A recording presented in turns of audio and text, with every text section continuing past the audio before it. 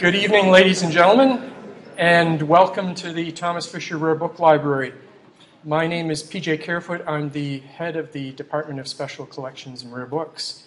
And before we begin, I wish to acknowledge this land on which the University of Toronto operates. For thousands of years, it has been the traditional land of the Huron Wendat, the Seneca, and most recently the Mississaugas of Credit River. Today, this meeting place is still the home of many Indigenous peoples from across Turtle Island, and we are grateful to have the opportunity to work on this land. Many of you, as donors, will know that the initiatives of the Thomas Fisher Rare Book Library have featured prominently in the successes of the university's $2.4 billion Boundless campaign. I am very pleased that, to have the chance to thank you once again for your contributions, which nurture collections and services for students, faculty, and researchers.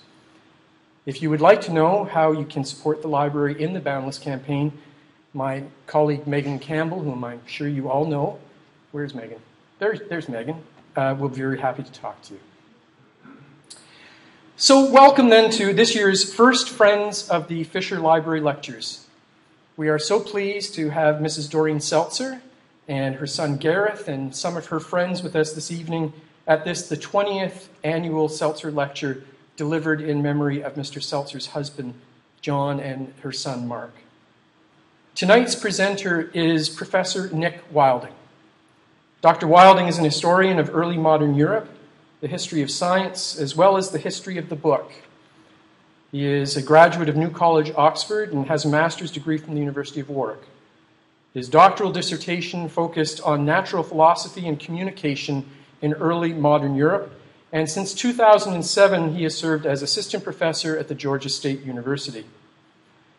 In 2012, Professor Wilding was able to prove, on the basis of forensic evidence, that a special edition of the Sidereus Nuncius of Galileo, consisting of unknown ink drawings found in 2005, was in fact a forgery. And we are delighted to have him speak to us this evening about the process that brought him to that conclusion. Professor Wilding.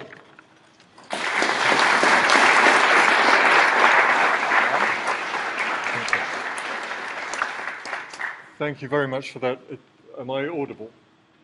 No? No? Did I press the right button? No, you haven't pushed it. That one? Yeah. There. There you go. Technology is not my strong point. There we go. Is that better? There we go. Okay.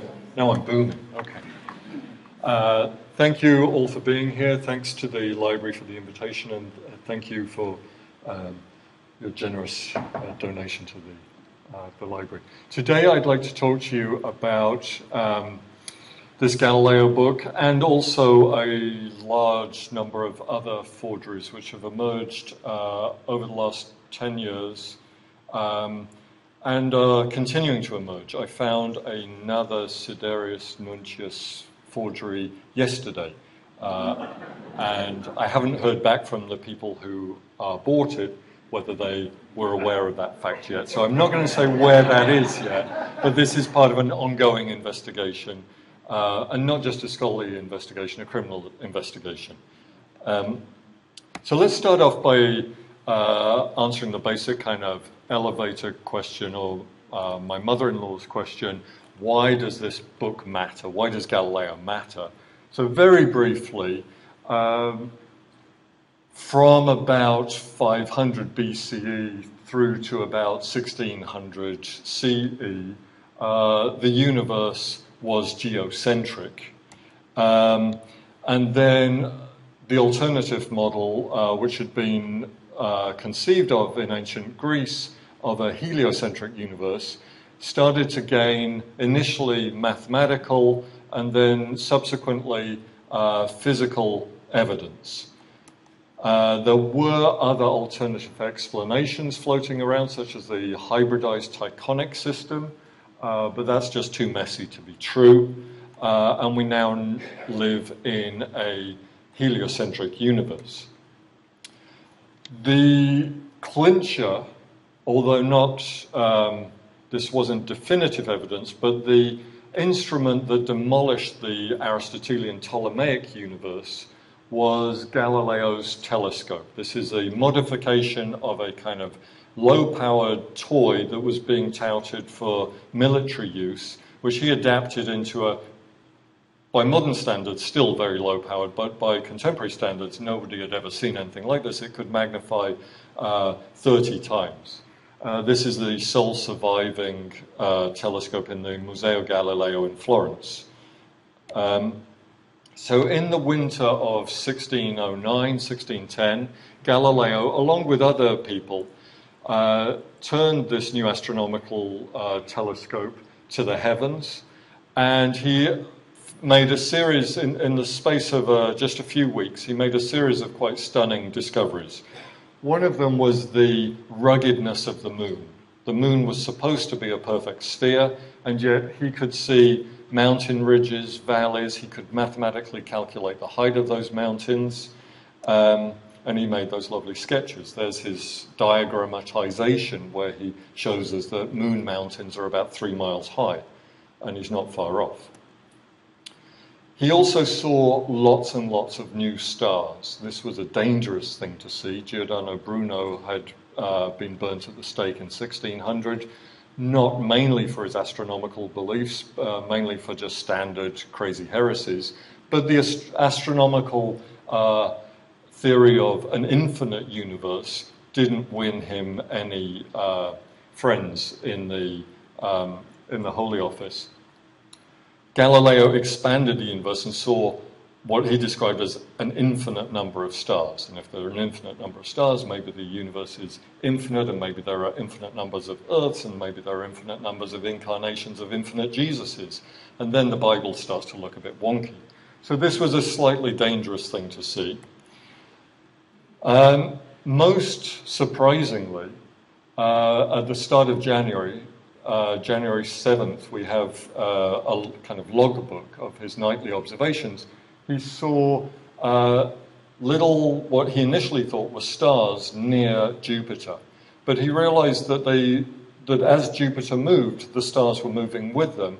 And he very quickly, within the space of less than a week, realized that what he was seeing was a, uh, a moon system. Um, and this was interesting to him because it provided another center of rotation in the universe. So uh, the argument that the Earth must be the center because our moon goes round it and it looks like everything else goes round it too, uh, has a physical counter argument. Well, there's another planet with moons too, so maybe we're not the center of everything. He published extremely swiftly, so these observations take place between November and uh, late January 1609 1610. On the 13th of March 1610, uh, uh, his book came out. Um, not a long book. This is a facsimile of it, but the right size, about 60 pages, um, a largish quarto. Um, the Sidereus Nuncius, first published in Venice in 550 copies. Uh, subsequently, that summer, uh, reprinted in Frankfurt, and there's a, uh, the much rarer Frankfurt copy. Uh, there's one of those here in the Fisher. Um, and in this uh, publication, he used a variety of media and techniques in order to visually display and reenact for the reader what it was that he'd seen.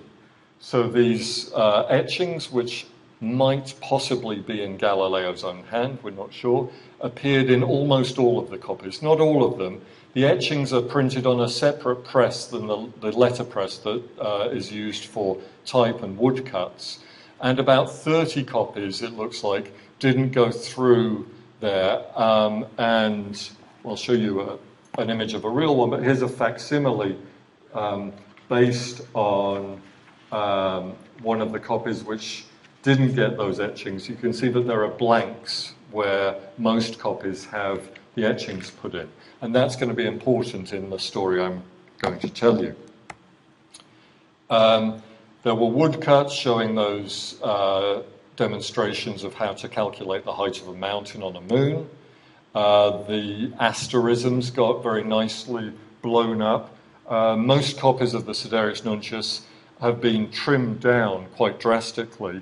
There are four copies of the surviving we know of about 90 copies from that initial print run of 550. There are four which have not been cut down at all. So you can see the initial, uh, the, the full sheets have these uh, star diagrams and, which extend almost to the edge and very wide margins on the, um, on the pages. And the nightly observations of the satellites of Jupiter uh, and are reproduced using typographical characters, so uh, asterisks of different sizes, very carefully uh, placed to show how they how we're looking at their um, their rotation at a slight angle. Now, in 2005, uh, so this is an important book in the history of thought, in the history of astronomy, in the history of humankind's relationship with the cosmos. It provides the empirical data by which the uh, Ptolemaic Aristotelian cosmos can start to be dismantled. It doesn't provide concrete, definitive evidence that we live in a heliocentric universe but it definitely starts to make the Earth seem like other places, makes the moon seem like the Earth, makes Jupiter seem like the Earth. So it changes the nature of the, of the universe. And it's beautifully written. It's one of the most exciting reads in the history of science. Copies were selling for anywhere between a quarter of a million and a million dollars. Not that that's important, but it's part of the story. In 2005, a copy appeared on the market, uh, which was uh, very, very special in very many ways, it turned out. Um, we'll look in detail at each of the elements that distinguish this copy.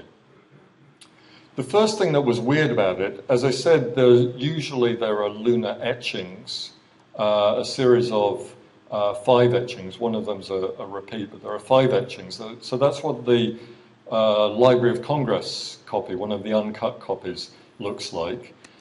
But some copies don't have that etching in them, and they're genuine. They're perfectly uh, real. They just didn't go, didn't get the etchings put in them. Now, what makes this new copy, which we'll call the Martayan Lan copy because that's the name of the dealer who purchased it, um, Martayan Lan, based in New York, history of science um, dealer. What made that this new copy uh, so special was that it didn't have the etchings, but it didn't have blanks either. It had um, drawings or light wash ink uh, sketches. And those light wash uh, ink sketches were analyzed by a German uh, historian of art, Horst Bredekamp, who was in the process of writing a big book about uh, the process of visual visualization in thought, uh, concentrating on Galileo, and by looking at the ways that the brush strokes were built up, he said that these were Galileo's own autograph drawings, and he uh, therefore uh, concocted a theory that these were uh, the basis for the etchings. They weren't just put in a defective copy, they were actually the paradigmatic uh, copies upon which the etchings were um, based. Now, if we look at each of the elements in this, the Martayan Lan copy, you'll see that the title page has been modified in a series of ways which are quite, quite normal for early modern books. There is a library stamp on the far left that lozenge, and there's a, an inscription at the bottom. You get this a lot in early modern books. What was important here is the nature of these two um, signs. First off, this library stamp uh, has a, you can see the little spotted uh, putty cat there. That's a lynx, apparently. That's what lynxes look like in uh, 1610, apparently. Um, they were still wild in the Dolomites, and Galileo probably uh, cut one of their eyes open to see how they could see so well. Um, it was dead, it's okay. Um, now, the lynx becomes the symbol of uh, sharp sightedness, and it becomes the emblem of the first scientific academy uh, to come into existence, the Accademia dei Lincei, based in Rome, run by a wealthy uh, prince called Federico Cesi. Um, Cesi built up a very, very nice library, mainly of natural philosophy, but also other subjects. When he died, and, and he stamped all of his, uh, his books with his library stamp. Uh, his library was dispersed upon his death. Most of it ended up in a shipwreck and sunk, but uh, what remained of it has ended up in four main libraries in Montpellier, Bologna, Rome, and I'm blanking on the fourth uh, no, two places in Rome, the Vatican and the modern day Lincean Academy. So the Martayan Lan copy has the Lincean stamp, and that means that this copy belonged to the Lincean Academy, and Galileo, largely as a result of publishing this book in 1610, was elected in 1611 as a member of the fledgling academy. And he was extremely proud of this academic uh, um, title.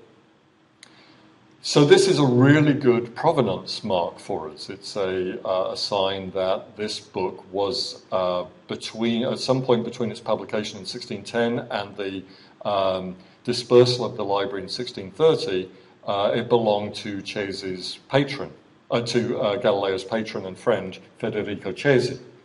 However, if you take a random sample of extant uh, library stamps from collections who've had their books for a long time, which is the kind of geeky thing that I do, you will find that they all share uh, certain characteristics. And one of those characteristics is that the wooden stamp that was used, um, either right at the get go or very early, uh, has a large break in the inner border there. And if you look at the stamp on the uh, Sidereus Nuncius, there is an intact line. So in Cesi's library, books that entered the library before the Galileo have uh, that break in the, uh, the stamp, which makes me think that the stamp is not genuine, and therefore that that provenance is bogus. And there are other minor variants there, uh, little ligatures and things missing in the lettering. Um, I think there's the right number of spots on the leopard, on, not leopard, lynx. Um, now, just at the moment when I was studying, I was writing a review of the, uh, there was a, a, large academic study of this book, of the, this specific copy, the Martayan Lan copy, because the stakes were so high on this. It was valued at $10 million. Yeah, you heard right. Uh, Richard Lan of Martayan Lan had paid half a million for it. So that's a pretty, uh, that's every dealer's dream to find a, an undervalued book like this. He'd done uh, the reputable thing, got a team of academics who were um, not involved financially in this in any way to analyze the book. So they took it, they compared it to other extant copies, they looked at the paper, they looked at the uh, inscription, as we will do in a, in a, minute. They looked at the library stamp, but not very closely. Uh, they looked at the drawings of the moon, and their conclusion was that this was Galileo's own copy of uh, the Sidereus Nuncius. The inscription that we'll come back to says, I, Galileo Galilei, did this. And they also concluded that the thing that he did was not just write the book, but do those drawings as well. And that's why it has a $10 million price tag on it, because it was Galileo's autograph kind of prototype copy, his proof copy, they claimed, with the uh, original drawings. Now, a lot of that doesn't make much sense because proof copies don't exist really. I've only ever seen one in the hand press era because you print off uh, a book sheet by sheet, so you never have a complete proof copy assembled before you go ahead with the print run. It's an anachronistic term. But we'll give them the benefit of the doubt for now and say, okay, um, this, that's a plausible explanation for what this object is. Just as I was reviewing their, uh, their book, a, uh, their study, a story broke in the international press, initially in Italy, and then it spread as it got worse and worse, ending up in the New York Times, about these two characters, mainly uh, the guy who's not a priest. Sometimes this picture is beautifully cropped so that, um, so that the other guy, Massimo De Caro, looks as though he has three hands. Uh, and it, it turned out that what he was using his third hand for was stealing books. He's pictured here in the Girolamini Library in Naples, uh, a library that was founded in the 1580s, and through political connections and definitely not academic uh, credentials, uh, Massimo De Caro had been, um, been named director of this library. One of the security staff in this library had been instructed to turn off security cameras at night uh, and had decided to disobey the director's uh, orders and left the cameras running and took the footage of the director loading up his van with hundreds, and in fact, in the end, probably between four and 6,000 rare books. Um, uh, took that to the police and started an investigation, which led to uh, Massimo De Caro being uh, sentenced to jail for seven years. He's about to come out. Uh, it turned out that he's also stolen from a minimum of five other um, libraries. So this story seemed initially unconnected, but then it, uh, I realized that I'd heard Massimo De Caro's name uh, when I talked to dealers, and that there was actually a, a strong connection between Massimo De Caro and Galileo. He'd written a, he'd put together a collection of Galileana and uh, catalogued it. Uh, and everyone I talked to in the rare book world said, "Oh yeah, that guy. Like I try and steer clear with him because there's always problems with his books." Um, so I started to wonder whether there might be any connection between Massimo De Caro and the uh, appearance on the market of the Sidereus Nuncius. Started to dig a little bit, and it turned out that one of the sources of dealer resentment of Massimo De Caro was that some of his stock was, well, all of his stock was actually too good to be true. But one batch was actually uh, really phenomenal and completely licit. Um, this is a list of books that Massimo De Caro obtained from the Vatican Library. They deaccessioned these books. They deny that they did this, but um, they did it. They've covered the traces of this deaccessioning from their catalogue. Uh, the cataloguer actually put in notes saying given to Massimo De Caro, and that's all been scrubbed from their, from their catalogues now. But uh, you can see the books that he received are, are listed on the left. Um, a compasso, um, a Saggiatore, dialogo. Uh, if you look at the shelf marks, which are just underneath, you'll see that name Barberini. That's the Pope's, Pope Urban VIII's own copy of the Dialogo, which is the book that, uh, for which Galileo is um, forced to abjure uh, vehement suspicion of heresy. Um, a copy of the Discorsi, and then just for good measure, they gave him a Hypnerotomachia Poliphili, just because it's fun to say, but it's also worth a million bucks. And uh, the first book to be printed in Italy, the Lactantius um, Opera. Uh, total value on the left, um, pro- we're probably looking at minimum of $5 million, possibly a lot more. In exchange, they gave him some books worth about 100,000, and I can't work out why this exchange ever went down because it was clearly not in the Vatican's interest. But they didn't do this, they say, so it doesn't matter. So he had this nice little nucleus of genuine Galilean stuff, dream items from papal library, actually illegally deaccessioned on the Galileo, um, on the uh, Vatican's um, own terms. They're not allowed to give away papal uh, material. Um, and this put Massimo De Caro in a very uh, strong position to uh, start wheeling and dealing high end items. Now, the copy of the, the first book on that list, the Operazioni del Compasso, Galileo's first book published under his own name, uh, had been microfilmed previously. So you could see uh, what that book looked like, even though it was no longer accessible in the, in the library. It's just temporarily inaccessible for a very long time, according to the Vatican. You can see that there's a library stamp there, and it's, it was actually uh, the Cesi um, library copy, and that's genuine. So in 2003, um, Massimo De got hold not only of a, some really nice Galileo books, he also had an authentic example of this library stamp. Uh, and that made me wonder whether the fake library stamp on the Sidereus Nuncius might have something to do with, with him. Various other genuine books were appearing on the market at the same time. Second edition Copernicus, um, um, Mercator and Ortelius, uh, all with this same stamp with the uh, intact line. And they were all coming from the same set of dealers. And if you scratched a little bit there, you found out that they'd all come from Massimo De Caro. So I was suspicious of that stamp. Now, in the same period, in about 2005, um, that's that book, the Operazioni del Compasso, which is a rare book, rarer than the Sidereus Nuncius. There are probably uh, maybe 30 copies in the world.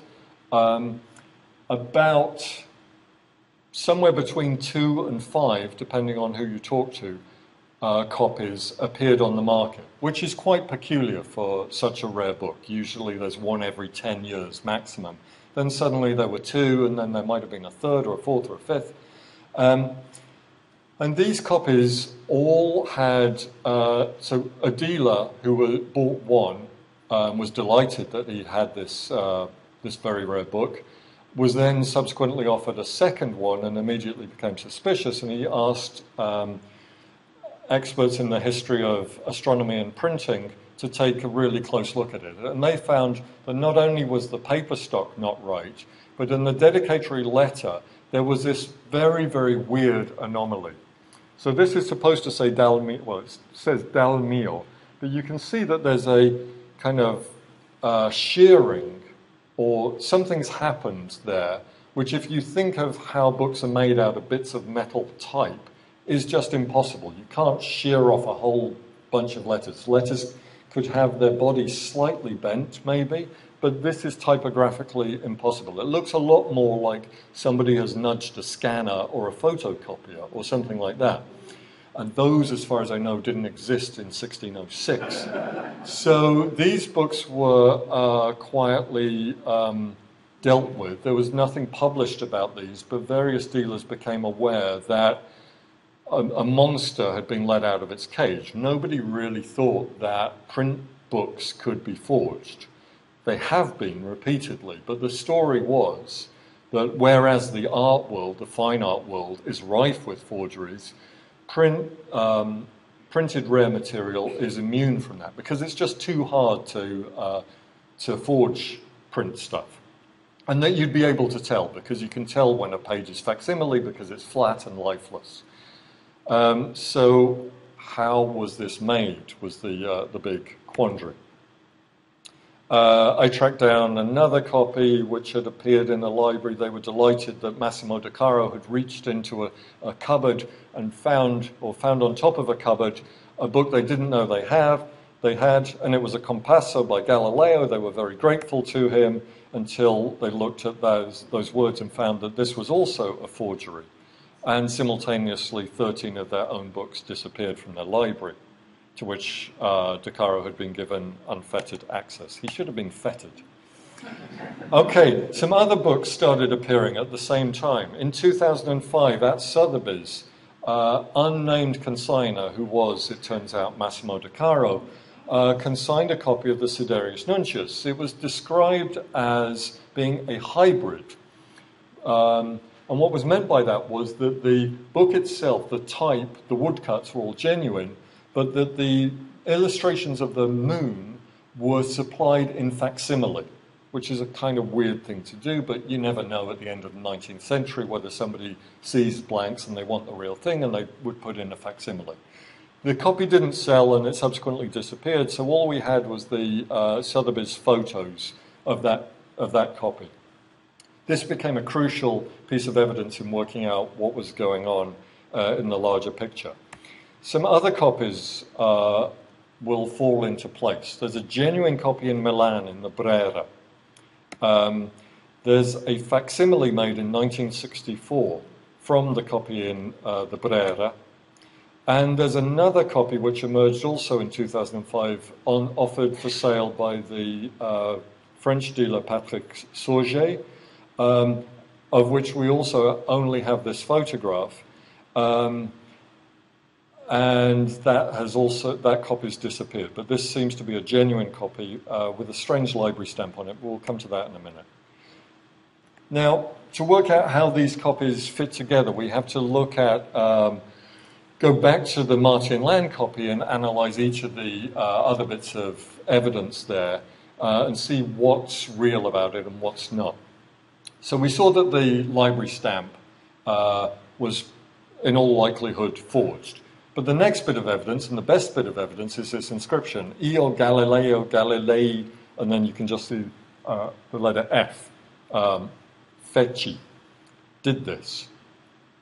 Um, the only uh, dedicatory copy we have of the Sidereus Nuncius is in Oklahoma uh, University Library, and that's what Galileo's signature looked like in 1610. So that's not a very good match. Um, if, however, you look at Galileo's abjuration certificate from 1633 and place it next to the inscription on the, um, the Martayan Lan copy, you see a very close similarity. Even that cross on the E on the capital I, I think, is just a little mark on the paper that has uh, been misunderstood by a forger and turned into this fake inscription. So um, the abjuration from 1633 turns into a 1610 signature. Uh, that's an anachronism and a forgery. Now, so it seemed to me that even if this copy were genuine, uh, it probably had nothing to do with Galileo. I'm not qualified to judge whether a watercolor drawing is in one artist's hand or, or another, but the crumbling of the rest of this evidence made me very suspicious of that. With the parallel, potential parallel of the forged compasso with that weird shearing effect, though, I wondered whether the entire thing might be a fake, um, which would be really, really troubling. It could just have been a doctor genuine copy. Uh, Galileo's signature put on it to boost its value. That was one uh, plausible scenario. But what if the entire thing was a forgery? So I looked very, very closely uh, at the title pages of about 30 uh, Sidereus Nunciuses, which I don't recommend to anyone. Um, but I started seeing some weird things in the Martayan Lan copy. The first was that there were a series of little dots, little beauty spots, uh, which I initially thought were just flecks of ink from the printer's shop or maybe very dark foxing of the paper, although they're very, very black.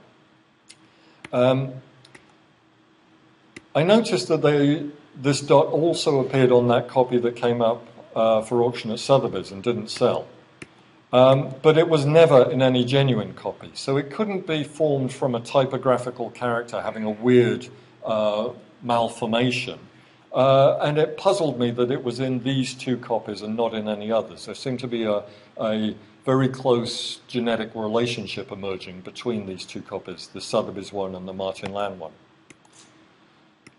This uh, twin ship, if that's a word, uh, appeared elsewhere. There's actually a strange typographical error on the Martayan Lan copy. Instead of the correct reading periodis to describe the periods of the satellites of Jupiter, oops, it says pepiodis. And you can see there already, those of you who've uh, set type, that the P and the I don't look like they're separate pieces of type. They're actually touching there. And if you think of these letters as being the inked impressions of lumps of metal.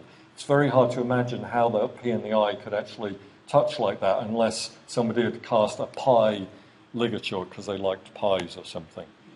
Um, on the Sotheby's copy, that's also present. So this twinship was getting stronger and stronger. The strangest thing, though, was in this increasingly strange book, is this uh, blotch on the letter P in the word privilegio.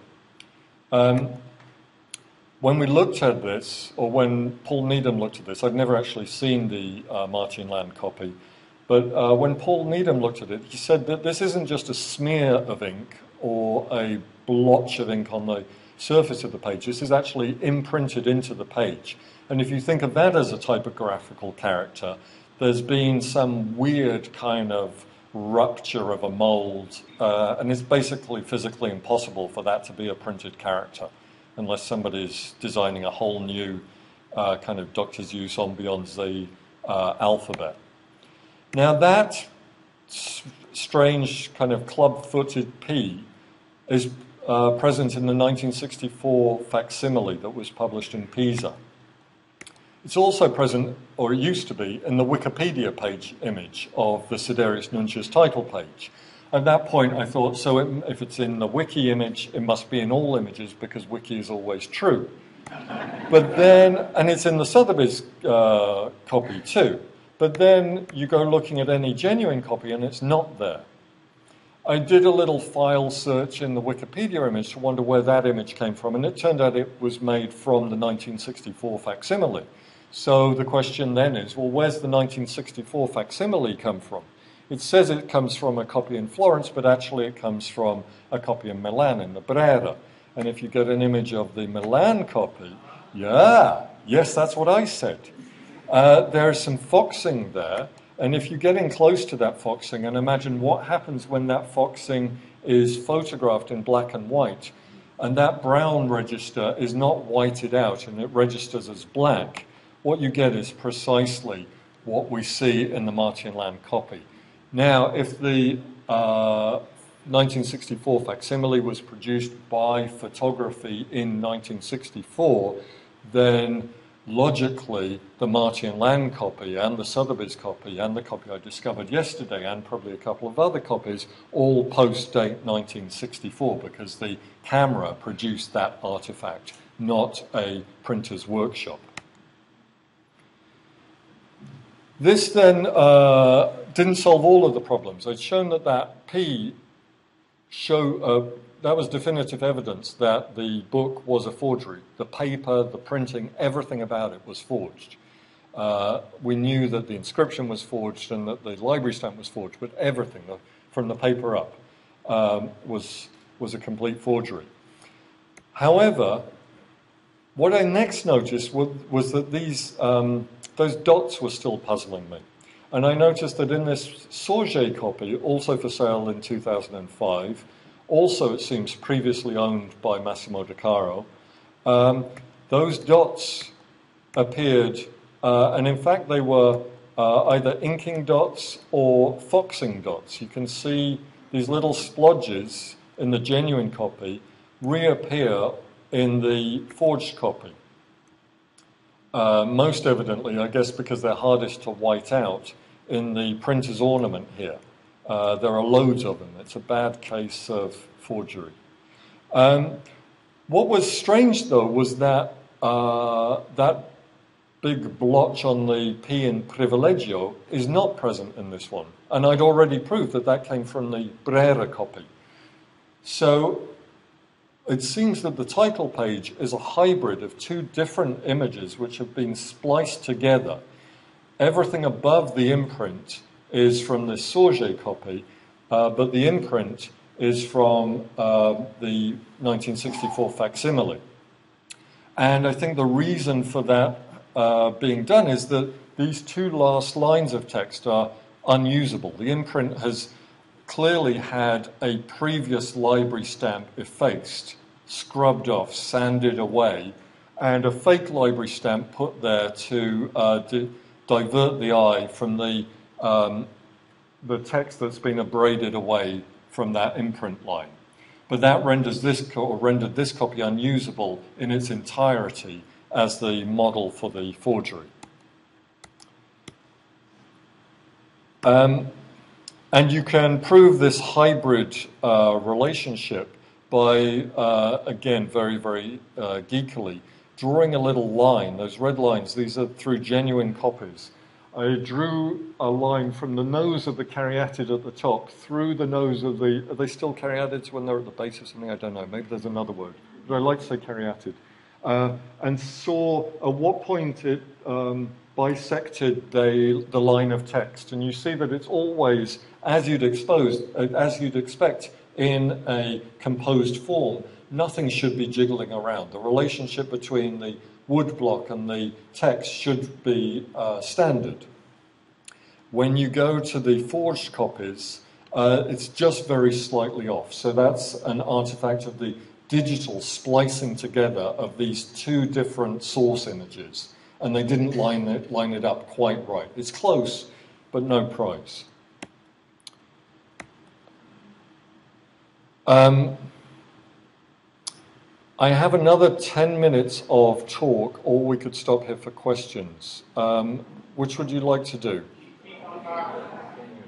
Continue? Is that all right? Yeah? Okay. Let's keep going now. And I'll, uh, I'll bring it in under uh, 655 max, I promise. Um, we can't do this kind of analysis on every book that comes onto the market that uh, sets the hairs on the back of our neck a little uh, um, up. We need to work out what a reliable uh, test might be to identify this mode of uh, forgery.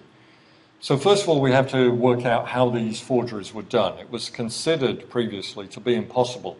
Most facsimiles that are made um, are made using planographic printing, so they do not impress into the surface of the paper. Um, lith- lithographic uh, or photographic or lithographic um, printing won't leave an impression in the paper, it'll just leave uh, inking. Whereas type uh, leaves an impression as well as inking. What I became interested in, uh, and I hope no one else has ever been interested in this, is the furniture, the, the marks left by the furniture around uh, composed type. So the bits of spacing bars. And I decided to do a little thought experiment.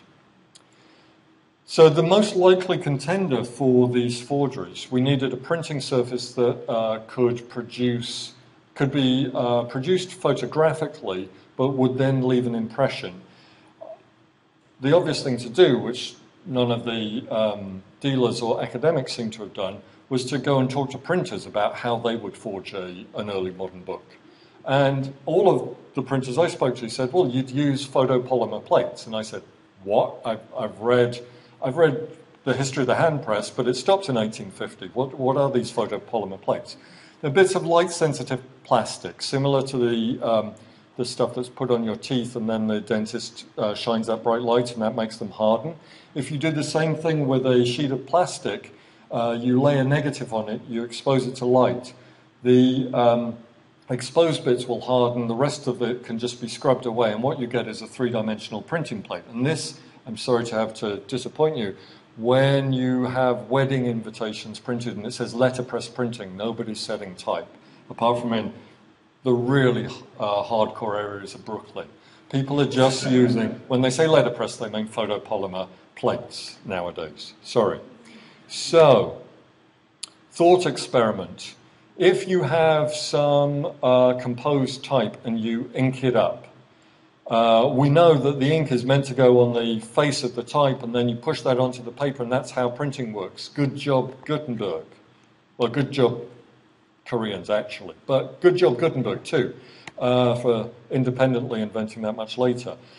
But what I wanted to know was what happened when the, uh, the ink got into the cracks in the furniture, the wood or metal spacing bars there. Um, what would happen? Because if you've dealt with early modern books, you'll often have seen these little lines, these just little messy bits in the header and footer of a book or around the pagination uh, areas. And you'll, you'll realize that that's just an artifact of, of printing. It doesn't matter, it's not meant to be there, but it might imply quick or cheap or shoddy printing. It might not. It means that the frisket uh, hasn't been cut properly, but uh, it's often, often there. What would happen, I asked myself, Wilding, what would happen if you were to print from this? Well, you'd get a sheet which was deeply impressed and inked where the letter form was, but just had a very light uh, mark where the ink had superficially rested in those cracks. There would be no pressure behind those uh, that ink to force it into the page. So you just get a uh, you get two, in effect, two different levels of printing: impressed printing and non-impressed printing. The taxonomies we invent. If you were then to turn that printed image photographically into a photopolymer plate, though, what would that plate look like? Well, the plate doesn't know what was initially a typographic character and what was unintentional inking. The, the plate turns a two dimensional black and white image into a three dimensional object from which you can print. And so you'd get a photopolymer plate that looked something like that. I apologize for my uh, very limited SketchUp skills here. Um, but something like that. And if you print from that, then the, shoulder, the um, line at the top is going to print in exactly the same way as the typographic characters. Was this the, then actually the case in the uh, Sidereus Nuncius? So what I'm interested in are these line, that little messy line at the top. Um, what, what I've done here is, sorry, not that. What I've done is take folio 3R um, and then taken folio 3 verso. So we're looking at the back of this page, and then I flipped it so that anything that shows through from this page on the reverse uh, should read correctly. So the typographic characters, like the number three, you can see uh, faintly, uh, but it does show through, and actually there's a physical impression there. You could feel that with your, with your finger. But that shoulder ink doesn't leave any mark, right? Because there's no, nothing pushing it through. It's just, uh, you might, if you held it up to the light, be able to see it, but, um, but there'd be no physical impression pushing through onto the back of the sheet. That makes sense? Good. You're a smart crowd. I like it. Let's push on. So the Martayan Lan copy, what happens with the Martayan Lan copy? There's not much shouldering. Most of the, um, most of the pages are su- suspiciously clean. But in the few instances of shouldering, A, it looks very heavy. See that line at the top there? That's what I'm talking about. And when you look at the back of the page and reverse it, you see no difference at all between typographic impression or impression from typographic characters and impression from uh, whatever it is that's, that's being used. So the shouldering impresses as well as leaves inking. So that means what we're dealing with is uh, probably, well, this has been confirmed now by the forger Massimo De Caro, who's admitted to this, but never been charged with anything, um, that this was the technique used. Now, some historians started saying, well, this shows that uh, Massimo De Caro, when he admitted uh, having made the Martayan Lan copy, said that this was a glorious hoax to show that the emperor has no clothes in academia. Um, wasn't it funny? I almost got away with it. Um, were, were, it not for that Scooby Doo Nick Wilding. Um, one of the arguments that academics made was that this process would have been incredibly laborious and expensive, and that um, there was no financial incentive to do these forgeries. So this was, in fact, a hoax. A printer has told me he could make a better forgery of this using photopolymer plates for under $5,000.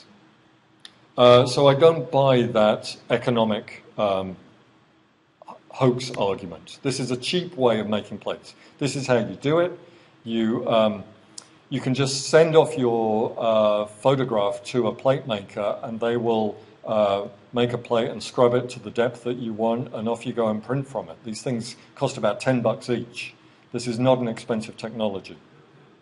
The problem is actually, uh, I'm indebted here to my, um, my friend, the printer Russell Maret, based in New York, great printer. Uh, he spent an afternoon forging a forgery with me. Um, so here he is working out uh, very, very swiftly in a way that was far better than uh, the solution that Massimo De Caro uh, came up with, how you'd make a forgery. The problem is actually um, making a 16th or 17th or 18th century book look badly printed enough. If you go off with these plates, they're com- completely uniform level, and if you've dealt with early modern books, you realize that the printing surface is kind of rugged. So you need to, uh, to get this kind of deep impression coming through, uh, that not looking too regular. You actually have to pack the um, underneath the plates or underneath the, uh, the sheet that you're going to print with, with um, kind of a, a rolling landscape to give the irregularities of early modern print. Very easy to uh, forge these things. Now, some, although this technology works relatively well for typographic characters where you want that rich, deep impression. This is what we fetishize now in rare books. We like the feel of them. We tut our heads at the 19th century collectors who ironed their books flat because they wanted them to look like lithographs, the fools. Um, we want that deep impression. It doesn't work well for uh, other, um, other media. So here's one of the, this is actually a forgery of um, one of De Caro's uh, etchings. And you can see that there's a kind of mottling there that doesn't, doesn't look like the background of a, of, um, left on a copper plate. Um, here's another, uh, that's another forgery, and uh, again, it doesn't have the right kind of warmth to it.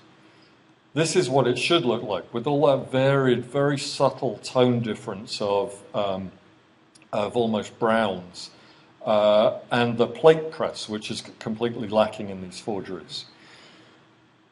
To conclude, um, why does it matter? Shouldn't everybody have a first edition? Isn't this just a democratization of a very elitist, snobby world? Well, I can kind of see that this is there's a logic here of really good facsimile making. These are museum quality facsimiles. And as such, they serve a purpose. But if we start to dissolve that division ontologically between genuine historical primary documentation and um, museum facsimile, um, I think as historians and as book historians, we're opening up some, we're creating really deep problems. The integrity of the historical document really matters. And even for a mechanically reproduced object, such as the printed book, it does matter whether our, if our survival rate suddenly goes up from 20% to 50%, that's going to change how we write the history of these objects. So the detection of this new generation of forgeries, and I'm sure that we are only just beginning this era of forgery, it's not over at all. Um, the detection of this is extremely laborious. There are workarounds. Any of you now could uh, go and make a better plate than De Caro and make a better forgery. Um, and there's going, the long term cat and mouse game between forgers and authenticators and de authenticators is going to carry on. But the take home message, I think, is um, we have to uh, try to preserve the value of collections such as the one we're standing in now. Thank you.